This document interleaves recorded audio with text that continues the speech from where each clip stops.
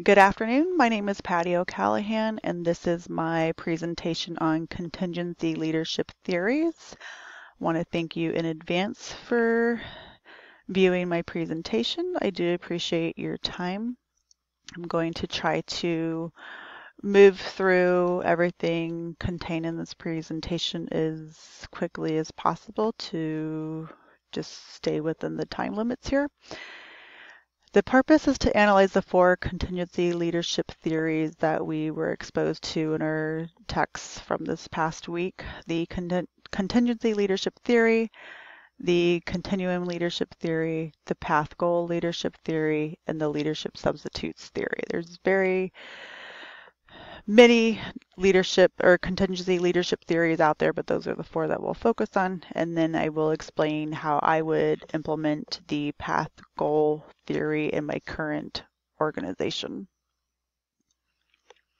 What are contingency theories? Well, leadership is a very complex topic.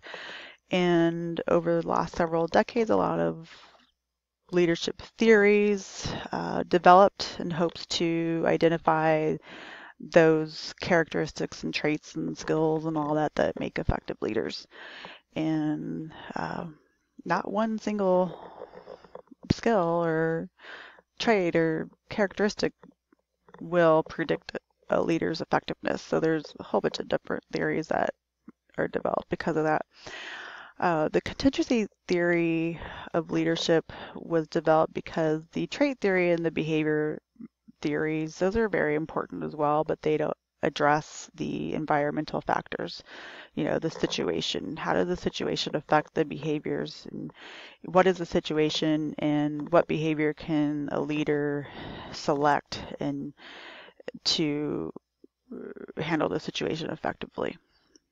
So it's an attempt to explain the most appropriate leadership approach based on the leader, the followers, and the situation.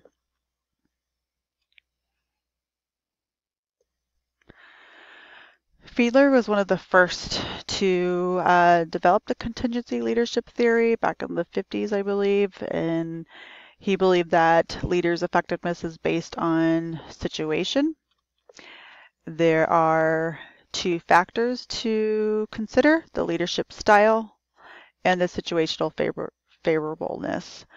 There are two leadership styles according to Fiedler, and that would be the task-oriented and the relationship-oriented, which are um, measured and assessed on the leadership style, um, least preferred coworker leadership scale, excuse me, the LPC leadership scale. He believed that leadership styles are fixed and nearly impossible to adjust, and that a leader is most effective when they're matched with situations that align best with their leadership styles. So this is an example of the LPC leadership scale. We saw one in chapter four. The results that I got were pretty on point. They aligned very well with my leadership approach. I'm in the middle. I am both task oriented and relationship oriented. And uh, I've always been that way. I understand the importance of relationships and how those relationships drive the team and individuals towards accomplishing the organizational objectives.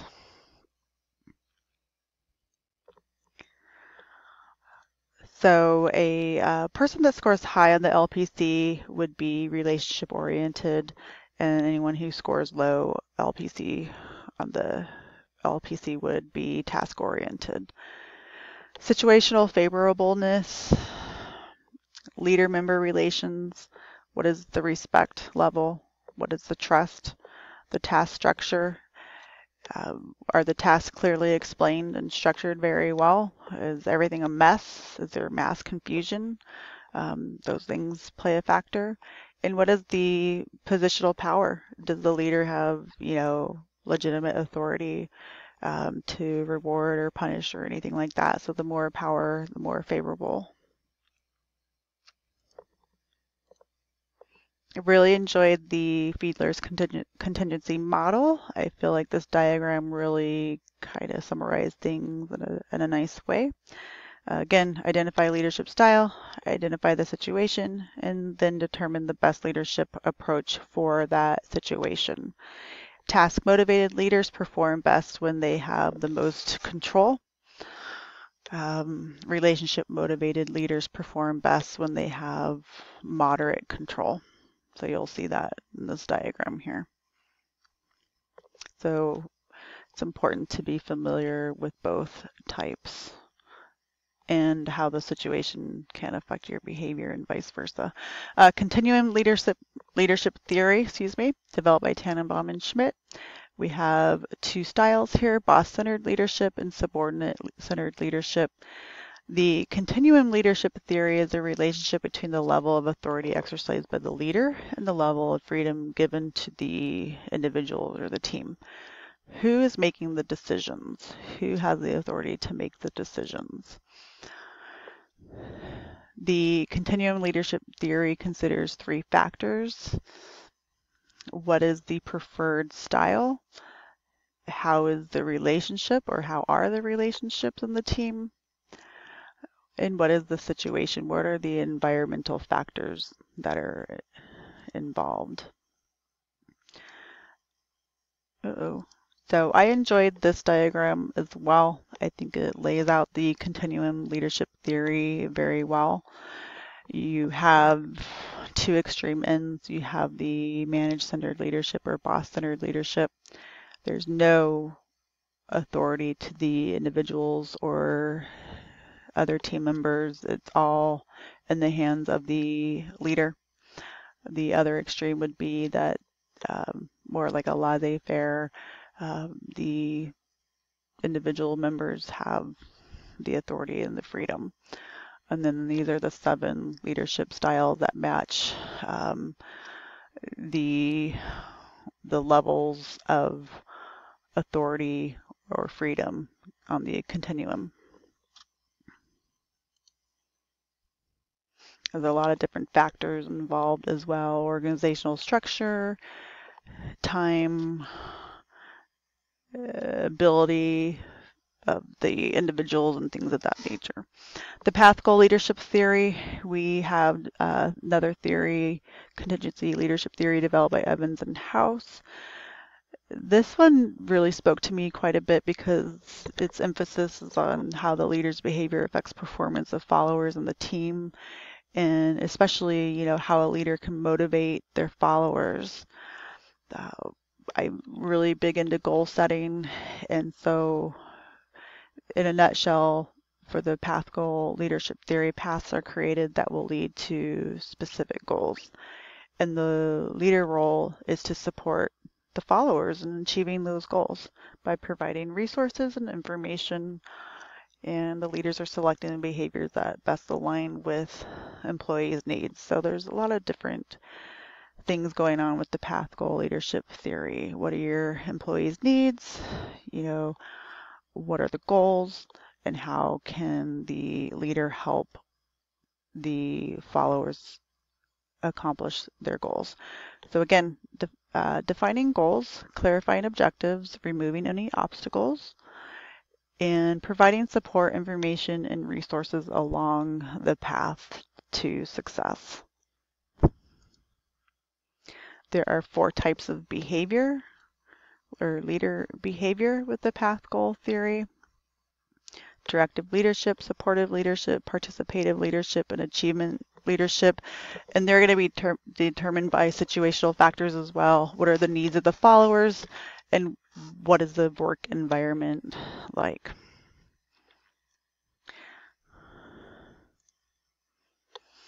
So Again, another diagram to summarize the path goal theory of leadership.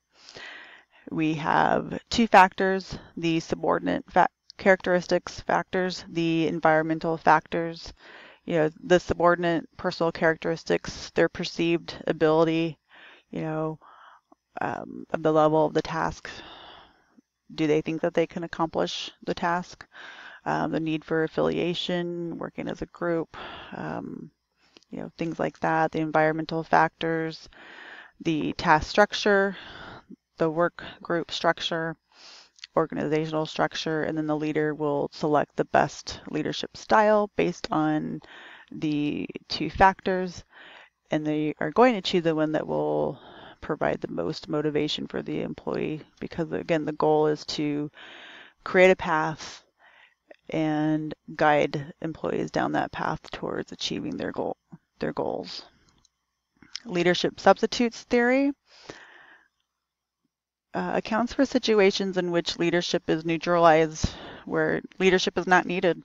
Um, there's going to be times when um, there's no need for a leader.